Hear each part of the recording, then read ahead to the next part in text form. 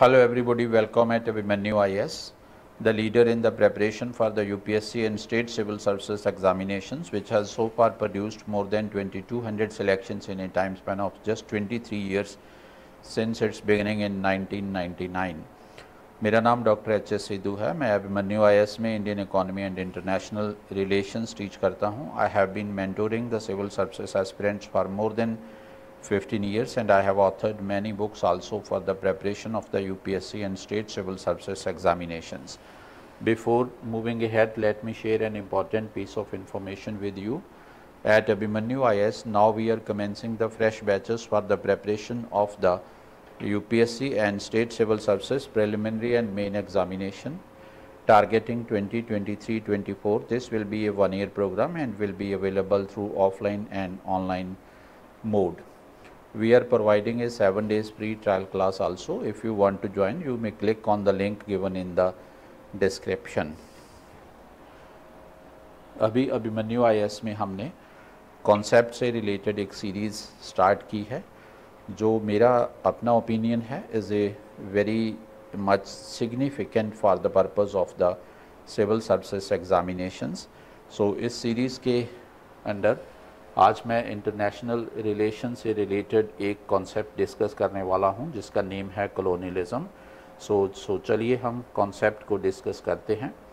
सो so, colonialism क्या होता है? पहले जस्ट हम देखते हैं कि कॉलोनियलिज्म में दो कंट्रीज़ जब एक कंट्री किसी दूसरी कंट्री के ऊपर अपना पॉलिटिकल कंट्रोल एक्सरसाइज करता है with view to exploit the people and resource of that country so then the host country uh, which is being exploited or which is being ruled by some other country that is known as the colony of uh, that other country so what is colonialism it is a process of a country taking full or partial control of a dependent country territory और people so colonialism में क्या होता है एक country दूसरे country के ऊपर अपना पॉलिटिकल कंट्रोल लेता है वो जो दूसरा कंट्री है, वो उसका डिपेंडेंट कंट्री होता है।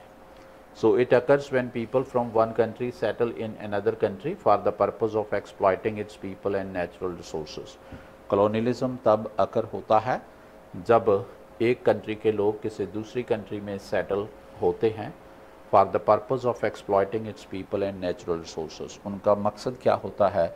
वहाँ के लोगों को एक्सप्लॉइट करना, वहाँ के नेचुरल रिसोर्स को एक्सप्लॉइट करना और उनके वहाँ पर कोई परमानेंट इंटरेस्ट नहीं होते। Okay so colonial powers typically attempt to impose their own language and cultures on the indigenous people of the countries they colonise so पहले कोई कंट्री दूसरे कंट्री में आता है, वहाँ आकर के अपनी पॉलिटिकल पावर एग्जर्ट करता है, उसको यू कैन से लेता है पॉलिटिकल कंट्रोल लेता है और उसका पर्पज़ रहता है उस कंट्री के नेचुरल रिसोर्स की एंड उस कंट्री के लोगों की एक्सप्लाइटेशन करना।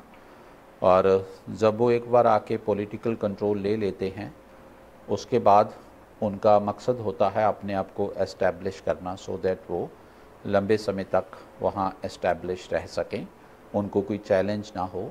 सो so, अपनी एक्सेप्टेबिलिटी को बढ़ाने के लिए फिर वो क्या करते हैं? फिर वो वहाँ अपनी लैंग्वेज इम्पोज करते हैं एंड वहाँ वो अपना कल्चर इम्पोज करते हैं। वहाँ जो इंडिजीनियस लोग होते हैं इनके बीच एंड समटाइम्स रिलीजियस कन्वर्जन्स भी होती हैं जैसे ब्रिटिशर्स ने इंडिया में किया था।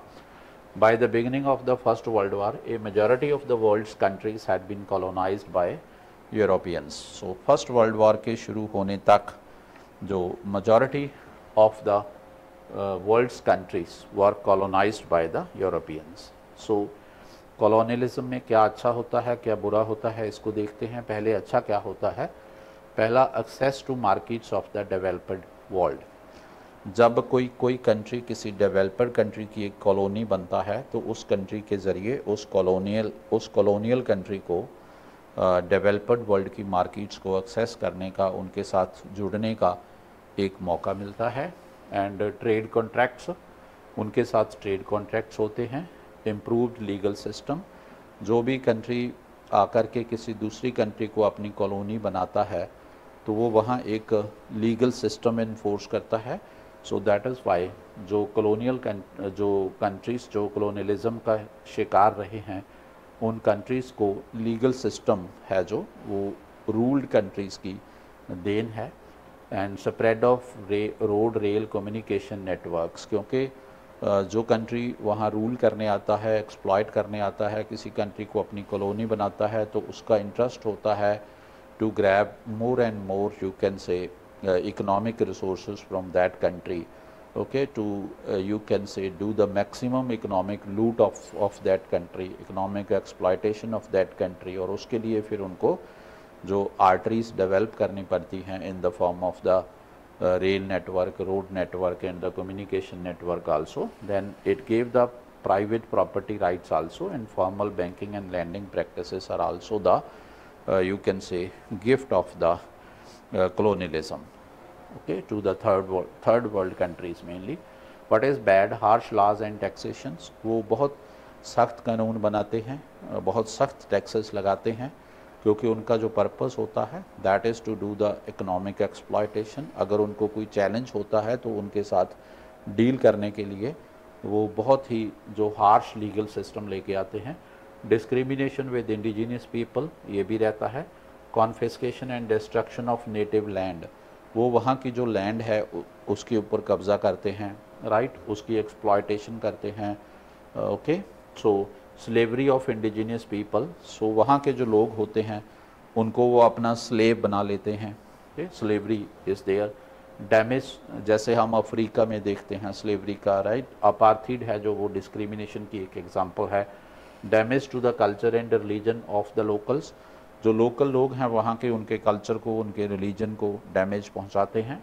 एंड एक्सप्लाइटेशन और लूट of resource of the colony so जो भी कॉलोनी होती है, जो भी कंट्री उन, उनके यू कैन से उनके पॉलिटिकल कंट्रोल के अंडर होता है तो फिर वो उसकी एक्सप्लाइटेशन करते हैं, उसके रिसोर्स की लूट करते हैं, कुछ ऐसा होता है। Imperialism and colonialism are two common terms often used interchangeably एक टर्म इम्पीरियलिज्म है, एक टर्म कॉलोनियलिज्म है, दोनों टर्म्स में अक्सर समटाइम्स स्टूडेंट्स कंफ्यूज हो जाते हैं, दोनों सिमिलर सी टर्म्स लगती हैं। बट इनके बीच में एक थिन डिफरेंस रहता है। Colonialism is the physical act of dominating another country in the case of imperialism the other country is dominated और influenced by the political ideology colonialism में में फ़िज़िकल कंट्रोल होता है। एम्पेरियलिज्म में एक कंट्री दूसरे कंट्री Uh, को अपनी पॉलिटिकल आइडियोलॉजी के थ्रू इन्फ्लुएंस करता है। अपने जो इकोनॉमिक इंटरेस्ट है उनको वो एडवांस करता है। इस ज़रिए and colonialism can be said a tool of imperialism and uh, क्या colonialism आज भी exist करता है the traditional practice of uh, colonialism has ended वो जो पुरानी colonialism वाली practice थी वो end हो चुकी है जैसे ब्रिटिशर्स ने दुनिया में डिफरेंट कंट्रीज़ के अंदर गए वहाँ जाके उन्होंने उनको अपनी कॉलोनीज़ बनाया उनकी इकोनॉमिक लूट की इकोनॉमिक एक्सप्लाइटेशन की for their own economic interest वो वाला सिस्टम तो आज कहीं नहीं मिलता देखने को।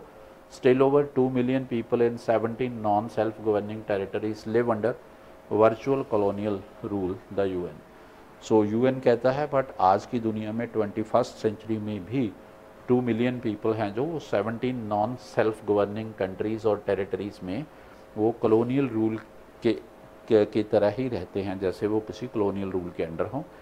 Rather than being self governed the indigenous people of these seventeen areas remain under the protection and authority of former colonial powers ये जो 17 रीजन्स की हम बात करते हैं, ये रीजन सेल्फ गवर्नड नहीं है। वहाँ वहाँ के लोगों की अपनी गवर्नमेंट नहीं है, बल्कि those people remain under the protection and authority of the formal of the former colonial powers like UK France and the US ये अभी भी उनकी प्रोटेक्शन में हैं जो फॉर्मर कॉलोनियल पावर्स रही हैं। अभी हम ये एग्जांपल लेते हैं right Turks and Caicos island ये यूनाइटेड किंगडम की एक तरह की कॉलोनी है मॉडर्न टाइम्स में हम ये कह सकते हैं राइट right? उनके अंडर टेरिटरी है ये उनका इन्फ्लुएंस है यहाँ पर। सो so, ये जो टेरिटरी है ये आप मैप में देख सकते हो बट यहाँ क्या लिखा है?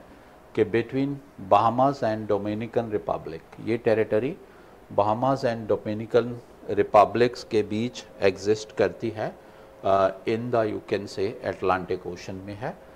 In 2009 thousand nine the British government suspended the nineteen seventy six constitution of the island in response to a report of the corruption there so वहाँ ये जो हम टर्क्स एंड काइकोस आइलैंड की बात करते हैं जिसके ऊपर यूनाइटेड किंगडम का का कंट्रोल है। सो so, वहाँ एक रिपोर्ट आई थी कि वहाँ करप्शन बहुत है। So on the basis of that report British government ने यू कैन से 2009 में उस उस टेरिटरी का जो अपना कॉन्स्टिट्यूशन था जो 1976 में जो बना था उस कॉन्स्टिट्यूशन को सस्पेंड कर दिया। And impose direct rule over the democratically elected government there okay so उन्होंने फिर क्या किया? वहाँ जो डेमोक्रेटिकली इलेक्टेड गवर्नमेंट थी, उनको हटा दिया और उसको हटा के वहाँ पर यूनाइटेड किंगडम ने अपना डायरेक्ट रूल एस्टेब्लिश कर लिया। सो so ये कॉलोनियलिज्म के बारे में इंपॉर्टेंट था। आई थिंक परहाप्स आपको ये कॉन्सेप्ट की क्लैरिटी हो गई होगी। अगर किसी को कोई अभी भी डाउट रहेगा तो आप कमेंट बॉक्स में कमेंट कर सकते हो। I will be happy to address your comment to reply for that okay so thank you very much all the best take the best care of yourself thank you again